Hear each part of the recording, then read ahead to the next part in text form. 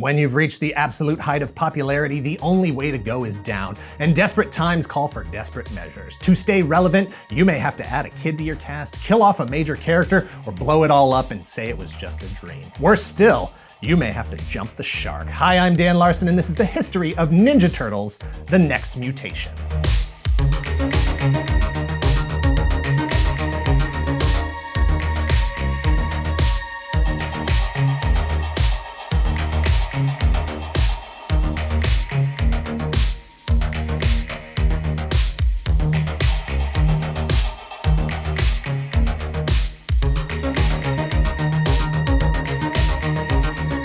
Just because you got older doesn't mean you have to abandon all the things you grew up loving. I loved fruity cereal when I was a kid, and I still like it today, for a meal or for a snack. The good news is today we have options. Magic Spoon brings you the taste of cereal from when you were a kid, but Magic Spoon is delicious, nutritious, and way healthier. It's a guilt-free treat you can eat at any time of the day. If you're trying to cut down on carbs or sugar, trying to eat healthier, the cereal you ate when you were 10 might not work for you today. Magic Spoon has 0 grams of sugar, 14 grams of protein, and only 4 net grams of carbs in each serving. Also, only 140 calories. It's keto friendly, gluten free, grain free, soy free, low carb, and GMO free. Look, it's my favorite, but Magic Spoon isn't just fruit flavored. You can choose from the best selling cocoa frosted, peanut butter, cookies and cream, and maple waffle, blueberry, cinnamon. They even drop limited edition flavors all the time. Magic Spoon ships to Canada and the UK. Click the link below to get some Magic Spoon cereal today. You can build your very own variety box and use my code TOYGALAXY for $5 off. Magic Spoon is so confident in their product, it's backed with a 100% happiness guarantee.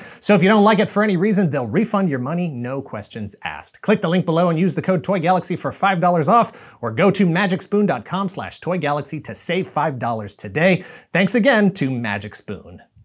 Ninja Turtles The Next Mutation is a live action television series that ran 26 episodes from 1997 to 1998. It's the result of a bunch of extreme franchise altering ideas getting turned down in favor of the only one that was literally better than nothing. A team of vigilante superheroes made up of four teenage mutant ninja turtles, totally unrelated by blood, live in the sewers of New York City. They were trained to fight evil by Splinter, a mutated rat who also acts as their surrogate father. Splinter dabbles in meditative astral projection, allowing his mind and spirit to leave his body for another plane of existence. One day, while taking an out-of-body stroll through the dream realm, Splinter receives a warning from his friend Chung-E that the dream realm is becoming unstable and that dragons are coming. That's bad. Splinter soon encounters a new terrible evil creature called Dragon Lord, the leader of a clan of dragon-like humanoid warriors who were magically banished to a mystical realm thousands of years ago. Somehow they have found a way to return to the human world through the realm of dreams. That's worse. The only ones who can stand in their way are the four original Ninja Turtles Leonardo, Donatello, Raphael, and Michelangelo, with special assistance from Chung-E's adopted daughter, Venus de Milo, whom he taught the art of shinobi magic. Born and raised down the street in Chinatown, she also happens to be the long-lost fifth mutated turtle from the same incident that created the other four hero turtles and Splinter. This team is older, wiser, more experienced, and packed with 25% more turtle power than ever before. Ninja Turtles The Next Mutation was produced by Saban Entertainment for the Fox Kids Network, the producer and network of hit kid shows like Mighty Morphin Power Rangers and X-Men the animated series. The Next Mutation was inspired by concepts that were potentially going to be featured in a fourth Ninja Turtles movie slated for release in 1996. Ninja Turtles co-creator Kevin Eastman was desperately trying to get another film out to keep the brand alive and the people who produced it employed. The Ninja Turtles burst onto the pop culture scene in 1984 with the publication of the first issue of the comic book. By 1987, they had a Saturday morning cartoon. By 1988, a line of action figures from Playmates. And by 1990, a feature film, a touring musical show, and a breakfast cereal. Two more movies in 1991 and 1993 were met with diminishing returns. The market was saturated with Ninja Turtle branded merchandise when it was suddenly overtaken by a new karate kicking phenomenon, Saban's Mighty Morphin Power Rangers. The Turtles were on the verge of being replaced due to oldness. 10 years is a long time for any brand to stay popular. It's an eternity for a brand marketed to children. Most kids have a two to three year window of attention at best as they grow up and discover other interests. To have been so popular for so long speaks to the Ninja Turtles' ability to hold on to the original audience while engaging new fans. But after nearly 200 episodes over a decade of comics and hundreds of action figures that already explored nearly every iteration of the Turtles you could imagine, the creators were running out of ideas. Some of the concepts that were being considered for a fourth movie included the return of Super Shredder after his presumed death, Casey Jones with electro powers, evil April O'Neil, and second generation or next mutations for Splinter and the Turtles. Splinter would have become like the Hulk, where he could voluntarily become a muscular super rat. Leonardo could activate metallic skin like Colossus from the X-Men. Michelangelo could create a human-like appearance around himself. Raphael would have been able to transform into Raptor Raph, a dinosaur-inspired hybrid of himself, and Donatello would have had telekinetic and telepathic powers. As drastic as all that seems, as much as it borrows from other popular franchises of the day like X-Men and Jurassic Park, it was the addition of a fifth turtle named Kirby that would have changed the dynamic of the team the most. But it was that change that would ultimately survive as the film was never greenlit for production. After plans for the movie died, Saban Entertainment and Fox Kids approached Ninja Turtle creators Kevin Eastman and Peter Laird to see if they could salvage any of it for television. Did they have any ideas that could still work for a series? Well, at least one idea. Eastman and Laird proposed the idea of adding a fifth turtle to the team. Saban liked it, but said they would only do it if it was a female turtle. Four guys and a girl, a formula that, in their experience, had been very successful.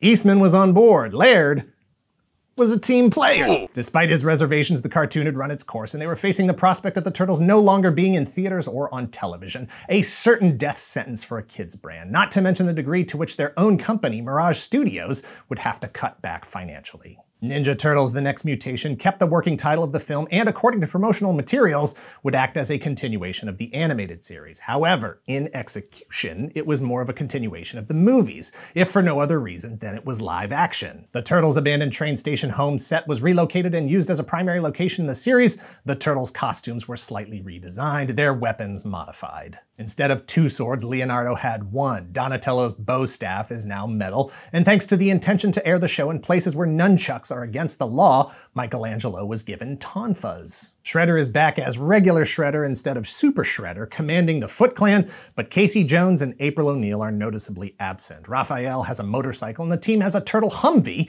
as a nod to the battle wagon from previous versions of the mythology. Most importantly, the turtles are now 18 years old, legally adults, capable of voting and being held responsible for their own decisions.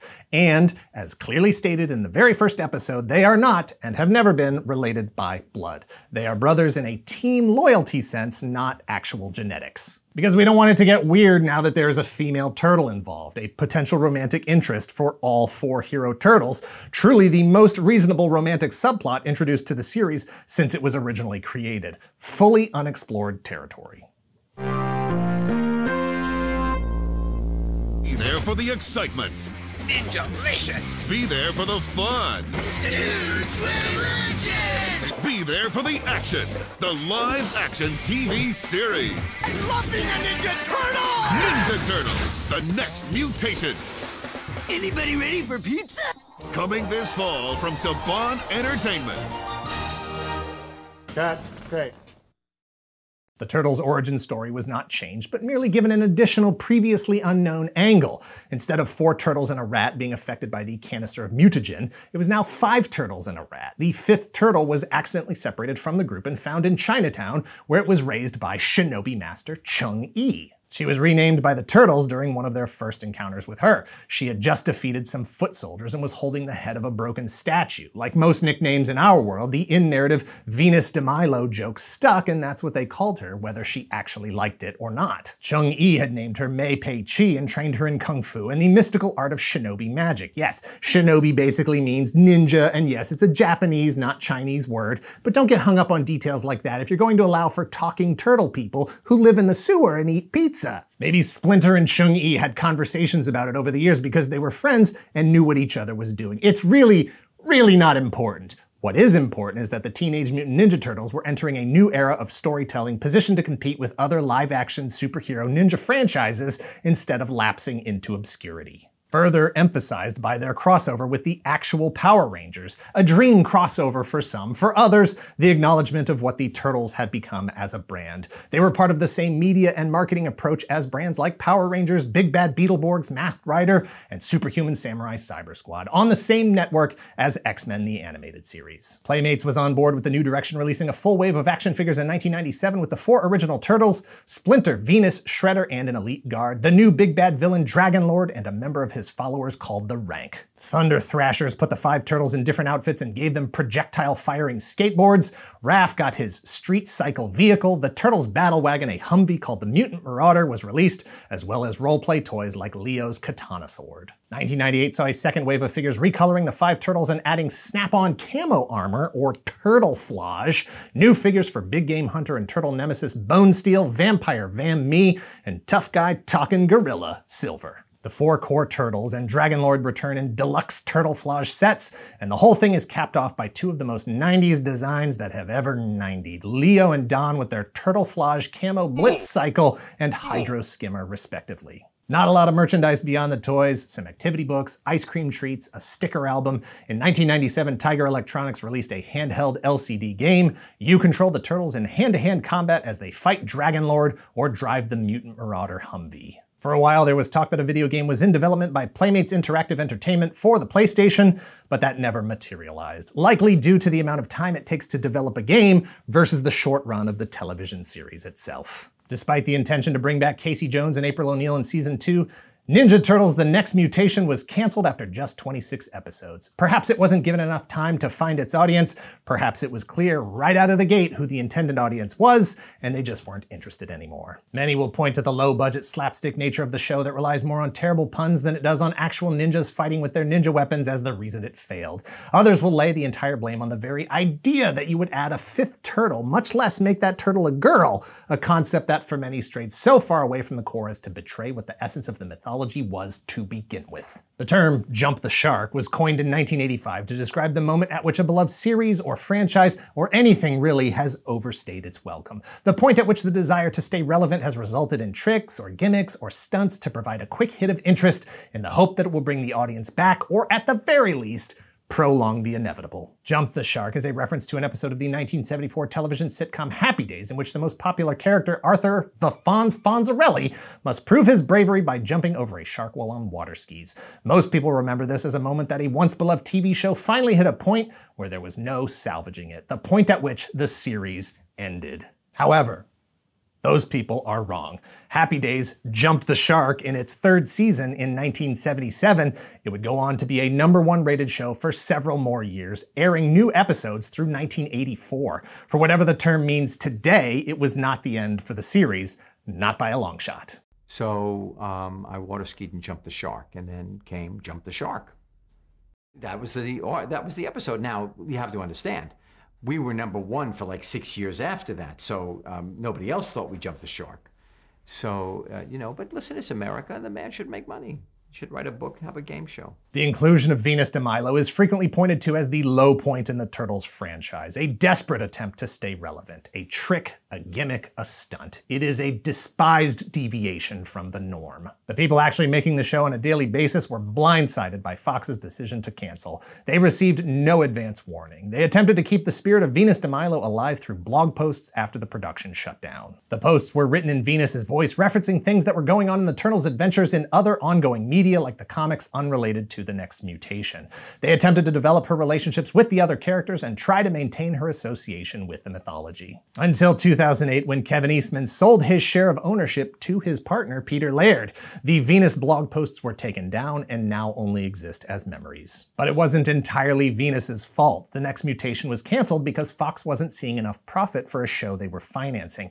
They didn't own the concept. The ratings weren't the highest, but they would have been enough to continue if there had had been more money for Fox. After the cancellation of The Next Mutation, Fox and Saban debuted a new original show in the fall of 1998 about four knights with magical armor, three guys and a girl called Mystic Knights of Tir Na Nog. For the Turtles, it was the first time since 1986 that there was no new cartoons on television and no movies in or on their way to theaters. It would be five more years until the next animated series and nine more years until the next movie. In 2012, Shout Factory brought the Next Mutation home on DVD. Volume 1 was released in March with 13 episodes. The remaining 13 followed in October. As of this video, the series is available for purchase digitally. However, there are no official sites to stream it. You can find several episodes here on YouTube unofficially. In 2009, Peter Laird sold the Ninja Turtles franchise to Nickelodeon. In 2011, Saban, after having sold Saban Entertainment to Disney in 2001, bought back all of his shows, including The Next Mutation. In 2018, all of those Saban rights were sold to Hasbro. Hasbro, till all are one.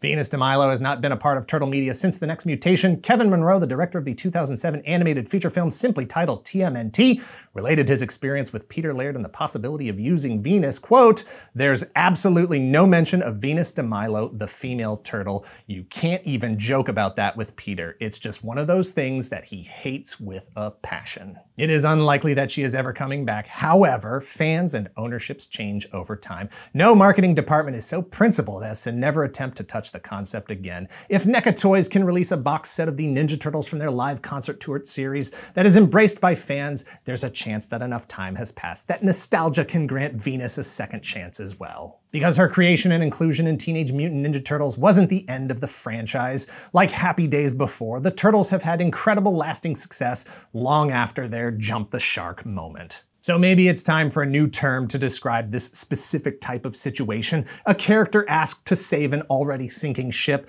to attempt to refresh a franchise that so many in the larger audience had already moved on from. The actual Venus de Milo, the statue, was discovered in a hidden cave on an island in the Aegean Sea in 1820. It was named after a Roman goddess, even though it is a Greek sculpture. It's Aphrodite, if it's anyone. Broken, misplaced, forcibly renamed. A more appropriate name for the turtle than it seemed. Had it been under better circumstances, Venus might be a core part of the very healthy franchise today. Looking back, the Teenage Mutant Ninja Turtles as a franchise didn't jump the shark. They buried Venus de Milo. Perhaps one day she will be accidentally discovered again.